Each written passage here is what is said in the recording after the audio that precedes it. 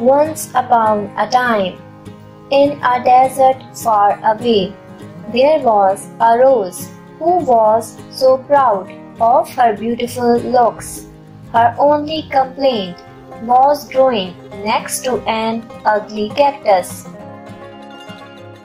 Every day, the beautiful rose would insult and mock the cactus on his looks. All while the cactus remained quiet. All the other plants nearby tried to make the rose see sense, but she was too sweat by her own looks. One scorching summer, the desert became dry and there was no water left for the plants.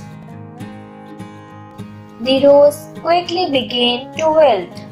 Her beautiful petals dried up, losing their lush and beautiful colors. Looking to the cactus, she saw a sparrow dip his beak into the cactus to drink some water. Though ashamed, the rose asked the cactus if she could have some water.